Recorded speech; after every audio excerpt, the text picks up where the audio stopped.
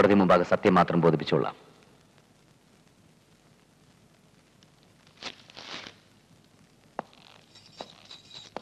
ഈ ഇരിക്കുന്ന ആഭരണങ്ങൾ നിങ്ങൾ സി ഐ ജഗന്നാഥന്റെ വീട്ടിൽ നിന്ന് മോഷ്ടിച്ചവയാണ് അല്ലേ?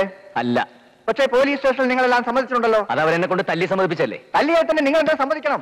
അതുപോലത്തെ തല്ലായിരുന്നില്ലേ സാർ തല്ലിയത്? ആരായാലും സമ്മതിച്ചു പോകും നാല് പോലീസുകാർ ചുറ്റിൽ നിന്ന് മർമ്മത്തിടിച്ച് മൂന്ന് ദിവസം മൂത്രം പോലെ ഐ സി യു കിടന്നതിന്റെ സർട്ടിഫിക്കറ്റ് ഞാനിവിടെ ഹാജരാക്കുന്നു. ഇത് കണ്ടാലറിയാം അവരെന്നെ കൊണ്ട് തല്ലി സമ്മതിപ്പിച്ചാണെന്ന് സത്യത്തിൽ ഞാൻ നിരപരാധിയാണ് സാർ. നിങ്ങളുടെ പക്കൽ നിന്നും സ്റ്റേഷനിൽ വെച്ച് ഈ ആഭരണങ്ങൾ കണ്ടെടുത്തു എന്ന് സത്യമല്ലേ? സത്യമാണ്. സി ഐയുടെ ആഭരണങ്ങൾ എങ്ങനെ നിങ്ങളുടെ പക്കൽ വന്നു? അത് സി ഐയുടെ ആഭരണങ്ങളല്ല എന്റെ ആഭരണങ്ങളാ. എന്നെ സ്റ്റേഷനിൽ കൊണ്ടുവന്നത് മറ്റൊരു കാര്യത്തിനാ. എന്ത് കാര്യത്തിന്? ഡെപ്യൂട്ടി കമ്മീഷണർ കല്യാണാലോചന ഉറക്കെ പറയൂ. ഡെപ്യൂട്ടി കമ്മീഷണർ കല്യാണാലോചന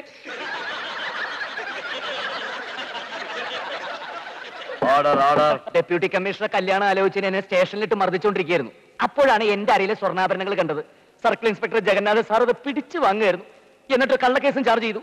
ഇത് അദ്ദേഹത്തിന്റെ വീട്ടിൽ നിന്ന് മോഷണം പോയതാണെന്ന് മറ്റു. പ്രതിക്ക് വേണ്ടി വക്കീൽ ഹാജരായിട്ടുണ്ടോ? ഇല്ല. നിരപരാധിത്വം സ്വയം തെളിയിക്കാൻ ഈ ഉള്ളവന് അനുവാദം തരണം.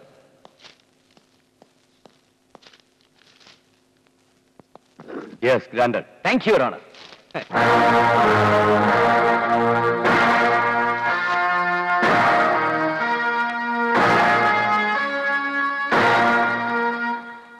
W one Jagannathan.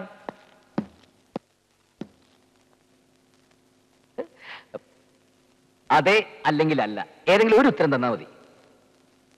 ഇപ്പോൾ നിങ്ങൾ പറയുന്നത് ഈ ഇരിക്കുന്ന ആഭരണങ്ങൾ നിങ്ങളുടെ സ്വന്തമാണെന്ന് അല്ലേ? അതിപ്പോഴല്ല പണ്ടേ എന്റെ സ്വന്തമാണ്. അതെ അല്ലെങ്കിൽ അല്ല എന്ന് മാത്രം പറഞ്ഞാൽ മതി. അതെ. അങ്ങനെയാണെങ്കിൽ ഇത്രയും ആഭരണങ്ങൾ വാങ്ങാൻ ഒരു വലിയ തുക തന്നെ വേണ്ടിവരും അത് നിങ്ങൾക്ക് എവിടെ നിന്ന് കിട്ടി? ഐ മീൻ കൈക്കൂലി അങ്ങനെ എന്തെങ്കിലും? നോ. ഇതിന്റെ വിവാഹത്തിന് ഭാര്യ വീട്ടിൽ നിന്ന് കിട്ടിയ ആഭരണമാണ്. ഓ സ്ത്രീധനമായിട്ട്? നോ കല്യാണം കഴിഞ്ഞിട്ട് എത്ര നാളായി? നോ ഏ? എട്ട് വർഷമായി. ഇത് മോഷണം പോയി എന്ന് നിങ്ങൾ പറയുന്നത് എന്നാണ്. എപ്പോഴാണ്? പറഞ്ഞോളൂ. ഇക്കഴിഞ്ഞ ഇരുപത്തി ഒമ്പതാം തീയതി. സമയം? നാല് മണിക്കും അഞ്ചു മണിക്കും ഇടയ്ക്ക്. ഓ അതങ്ങനെ എത്ര കൃത്യമായിട്ട് പറയാൻ പറ്റി? അതായത് ഞാനും ഭാര്യയും കൂടെ നാല് മണിക്ക്. നിങ്ങളും ഭാര്യയും കൂടി നാലു മണിക്ക്? ഷോപ്പിങ്ങിന് പോയിരിക്കായിരുന്നു. കോടതിയാണ് പതുക്കെ. തിരിച്ചു വന്നപ്പോഴാണ് മോഷണം നടന്നതായി മനസ്സിലായത്. അപ്പോൾ എട്ട് വർഷങ്ങൾക്ക് മുമ്പ് നിങ്ങളുടെ വിവാഹത്തിന് നിങ്ങളുടെ ഭാര്യ വീട്ടിൽ നിന്നും കിട്ടിയതാണ് ഈ ആഭരണങ്ങൾ. അത് ഇക്കഴിഞ്ഞ് ഇരുപത്തി ഒമ്പതാം തീയതി വൈകിട്ട് നാലിനും അഞ്ചിനും ഇടയ്ക്ക് മോഷണം പോയി. ആമേ correct that's all your honour thank you sir P W two Swarnalatha.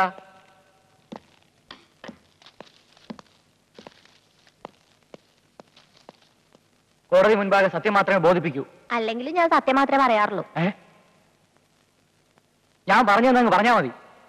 കോടതി മുമ്പാകെ സത്യം മാത്രമേ പറയൂ. നിങ്ങളുടെ ഭർത്താവിന് എന്താ ജോലി? സർക്കിൾ ഇൻസ്പെക്ടറാണ്. അപ്പോ ഈ ഇരിക്കുന്ന ആഭരണങ്ങൾ എട്ട് വർഷങ്ങൾക്ക് മുമ്പ് നിങ്ങളുടെ വീട്ടിൽ നിന്നും തന്നതാണെന്നുള്ള സത്യമാണോ? സത്യമാണ്. ഉരുക്കാറുണ്ട്? എന്താ? സ്വർണം ഉരുക്കി പുതിയത് പണിയാറുണ്ടോന്ന് ഇല്ല. കൊടുക്കാറുണ്ട്? ഉണ്ടെങ്കിൽ പറയണം കൊടുക്കാറുണ്ടോ എന്ന്. പഴയ സ്വർണം കൊടുത്ത് പുതിയത് വാങ്ങാറുണ്ടോ? ഇല്ല. എന്തെങ്ങനെ ചെയ്യായിരുന്നു? ആ. പഴമയുടെ ഭംഗി നഷ്ടപ്പെടാതിരിക്കാൻ.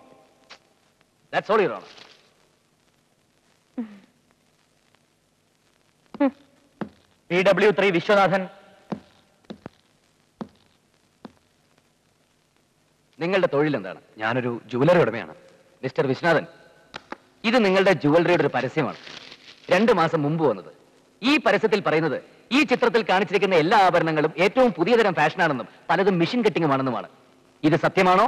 അല്ല പരസ്യത്തിന് വേണ്ടി ചേർത്ത വെറും വാചകങ്ങളോ ഒരിക്കലുമല്ല ഈ പറഞ്ഞിരിക്കുന്ന എല്ലാം സത്യമാണ്. ഈ ഡിസൈനിലുള്ള ആഭരണങ്ങൾ തന്നെയല്ലേ? ദോ അവിടെ ഇരിക്കുന്നതും. അതെ. That's all your honour P W seven Philip Mathew എന്താണ് നിങ്ങളുടെ തൊഴിൽ? ബാങ്ക് മാനേജരാണ് ഈ ഇരിക്കുന്ന ആഭരണങ്ങൾ ഇതിനു മുമ്പ് നിങ്ങൾ കണ്ടിട്ടുണ്ടോ? ഉണ്ട്. എങ്ങനെ? ഇത് ഇക്കഴിഞ്ഞ ഇരുപത്തിയേഴാം തീയതി എന്റെ ബാങ്കിൽ പണയം വെച്ചിരുന്നതാണ്. Note this point here honour എന്നാണ് തിരിച്ചെടുത്തത്? ഇരുപത്തി ഒൻപതാം തീയതി ഉച്ചയ്ക്ക്. താങ്ക് യു ഇനി ഡെപ്യൂട്ടി കമ്മീഷണർ കൂടി വിസ്തരിക്കാൻ ബഹുമാനപ്പെട്ട കോടതി അനുവദിക്കണം. ഈ പ്രതിയെ നിങ്ങൾ അവസാനമായി കണ്ടത് എവിടെ വെച്ചാണ്? ആശുപത്രിയിൽ വെച്ച്. എന്തായിരുന്നു പ്രതിയുടെ അപ്പോഴത്തെ അവസ്ഥ? കുറച്ച് അവശനായിരുന്നു. അവസരം എന്ന് പറഞ്ഞാൽ മൂക്കിൽ നിന്നും വായിൽ നിന്നും ചോരയൊലിച്ച് സംസാരിക്കുന്നത് പോലും നമുക്ക് കോടതിയിൽ വെച്ച് കാണാട്ടോ ഇങ്ങനെയായിരുന്നു എന്ന് പറഞ്ഞാൽ നിങ്ങൾ നിഷേധിക്കുമോ ഇല്ല. അപ്പോൾ ഡോക്ടർ പറഞ്ഞത് പ്രതിയുടെ പറയാൻ പറ്റാത്ത മർമ്മഭാഗങ്ങളിൽ കാര്യമായ ചതവുകളും മുറിവുകളും ഉള്ളത് കൊണ്ട് ഐ സിയുൽ അഡ്മിറ്റ് ചെയ്തേ പറ്റൂന്നല്ലേ അതെ. Thank you sorry thank you sir your honour ഈ ഇരിക്കുന്ന ആഭരണങ്ങൾ ഒന്നും തന്നെ സർക്കിൾ ഇൻസ്പെക്ടർ ജഗന്നാഥിന്റെ വീട്ടിൽ നിന്ന് മോഷണം പോയവയല്ല എന്ന് വ്യക്തമാകുന്നു. അവിടെ നിന്ന് മോഷണം പോയി എന്ന് പറയപ്പെടുന്ന ആഭരണങ്ങൾ എട്ട് വർഷം മുമ്പുള്ളതാണ്. ഈ ഇരിക്കുന്ന ആഭരണങ്ങൾ രണ്ട് മാസം മുമ്പ് മാത്രം വിപണിയിൽ വന്നതാണ്. ഇരുപത്തിയൊൻപതാം തീയതി വൈകുന്നേരം നാലിനും അഞ്ചിനും ഇടയ്ക്ക് ആഭരണങ്ങൾ മോഷണം പോയി എന്നാണ് എഫ്ഐആർ രേഖപ്പെടുത്തിയിട്ടുള്ളത്. ഈ ആഭരണങ്ങൾ ഇരുപത്തിയേഴാം തീയതി ബാങ്കിൽ പണയം വെച്ചതായും തെളിഞ്ഞു കഴിഞ്ഞു. ആറു മണിക്ക് പ്രതിയെ കസ്റ്റഡിയിൽ എടുക്കുന്നു ആഭരണങ്ങൾ കാണുന്നു. തുടർന്ന് ഒരു കള്ളക്കഥയുണ്ടാക്കി ഏഴ് മണിക്ക് പ്രതിയുടെ മേൽ മോഷണ കേസ് രജിസ്റ്റർ ചെയ്യുന്നു. ഇതിൽ നിന്നെല്ലാം ആഭരണങ്ങളുടെ യഥാർത്ഥ അവകാശി പ്രതിയാക്കപ്പെട്ട ഈ ഉള്ളവരാണെന്നും പി ഡബ്ല്യു വൺ മനഃപൂർവം കെട്ടിച്ചമച്ചത് കള്ളക്കഥയാണെന്നും വ്യക്തമാകുന്നു. നിരപരാധി മനാതിരമായ ഒരു യുവാവിന്റെ കയ്യിൽ നിന്നും ആഭരണങ്ങൾ പിടിച്ചു പറിക്കുന്നതിനായി തന്റെ അധികാരം ദുർവിനിയോഗം ചെയ്ത് പ്രതിയെ ക്രൂരമായി മർദ്ദിക്കുകയും അവശനാക്കുകയും അയാളുടെ ആരോഗ്യനില പോലും തകർക്കുകയും ചെയ്ത പോലീസ് ഉദ്യോഗസ്ഥനെതിരെ ശിക്ഷണ നടപടികൾ കൈക്കൊള്ളണമെന്നും നിരപരാധിയായ പ്രതിയെ വെറുതെ വിടണമെന്നും ബഹുമാനപ്പെട്ട കോടതി മുമ്പാകെ ഞാൻ താഴ്മയായി അപേക്ഷിച്ചുകൊള്ളുന്നു. ഈ കേസിന്റെ വളരെ പ്രധാനപ്പെട്ട തെളിവുകൾ നൽകാൻ പറ്റിയ ഒരു സാക്ഷിയെ കൂടി വിസ്തരിക്കാൻ ബഹുമാനപ്പെട്ട കോടതിയെ അനുവദിക്കണം. Granted thank you honour P W ten എന്താണ് തൊഴിൽ? പറഞ്ഞു കേട്ടില്ലേ? എന്താണ് തൊഴിൽ എന്ന് സബ് ഇൻസ്പെക്ടർ ഓഫ് പോലീസ്. ഞാൻ ഈ കോടതി പറഞ്ഞെല്ലാം വ്യക്തമായിട്ട് കേട്ടില്ലേ? എല്ലാം കേട്ടു. ഈ ആഭരണങ്ങൾ കണ്ടതിന് ശേഷം സൃഷ്ടിക്കപ്പെട്ട കേസാണ് എന്ന് ഞാൻ പറഞ്ഞാൽ അത് താങ്കൾ നിഷേധിക്കുകയാണെങ്കിൽ ഈ കോടതിയെയും പോലീസ് ഡിപ്പാർട്ട്മെന്റിനെയും അവഹേളിക്കുന്നതിന് തുല്യമാണെന്ന് ഞാൻ പറഞ്ഞാൽ അതൊരു നുണയല്ലെന്ന് താങ്കൾ പറഞ്ഞാൽ അത് ശരിയാണോ? തെറ്റാണോ?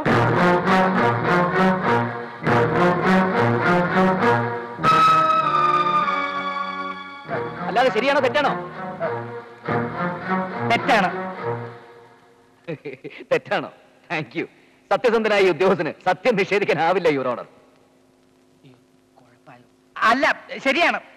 ശരിയാണ് സാർ അദ്ദേഹത്തിന് അത് നിഷേധിക്കാനാവില്ല. അതല്ല ഉദ്ദ- ഉദ്ദേശം ഞാൻ മാറി ചില പിന്നെ ചൂടാണ്ട് എ സി ഒന്നും ഇല്ല അത്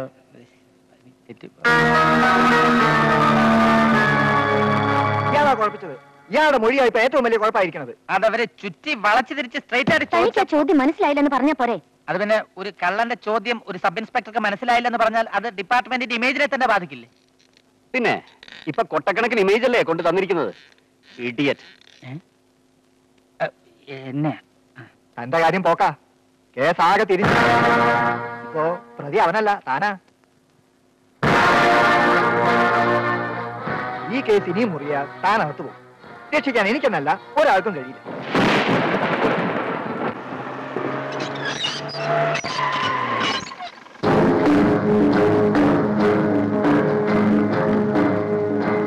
നാളെ വിധിയ. അകത്ത് പോകാൻ പോകുന്നത് താനാ. ഇവിടം കൊണ്ടെല്ലാം അവസാനിച്ചു എന്ന് കരുതണ്ട. തുടങ്ങിയിട്ടേ ഉള്ളൂ. നിന്റെ നാശം തുടങ്ങിയിട്ടേ ഉള്ളൂ. ഇത് നിന്റെ അവസാനത്തെ പിടിയാ. എന്റെ ആദ്യത്തെ. ഇതിൽ നിന്ന് നിനക്ക് രക്ഷപ്പെടാനാവില്ലടാ. ഇനി ജീവിക്കാൻ പോകുന്ന ഒരു പോലീസ് ഉദ്യോഗസ്ഥനായിട്ടല്ല. ഒരു ക്രിമിനലായിട്ടാ. എന്നേക്കാ വലിയ ക്രിമിനലായിട്ട്.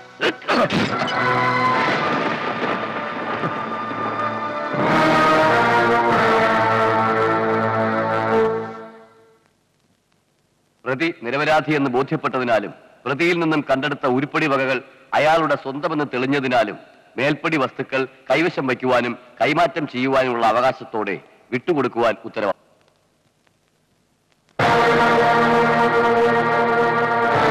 ഉത്തരവാദിത്വപ്പെട്ട ഉദ്യോഗത്തിൽ ഇരുന്നു കൊണ്ട് പിടിച്ചുപറിക്ക് സമാനമായ കുറ്റകൃത്യം ചെയ്തിട്ടുണ്ട് എന്ന് തെളിഞ്ഞതിനാൽ സർക്കിൾ ഇൻസ്പെക്ടർ ജഗന്നാഥനെ രണ്ടു വർഷത്തെ കഠിന തടവിന് ശിക്ഷിച്ചുകൊണ്ട് ഈ കോടതി ഉത്തരവാകുന്നു.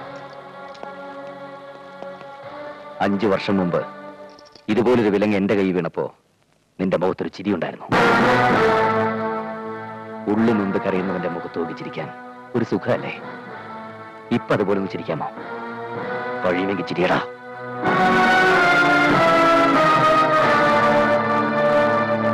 അവൻ കലക്കി. വാദി പ്രതിയായത് എത്ര പെട്ടെന്നാ?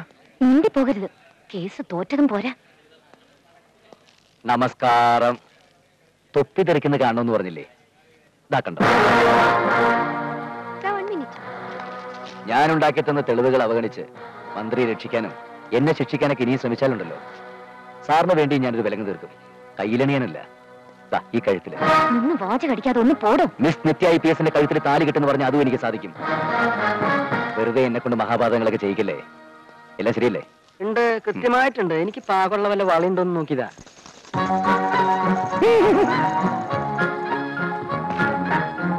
ഈ ഉപകാരം ഒരിക്കലും ഞാൻ മറക്കില്ല.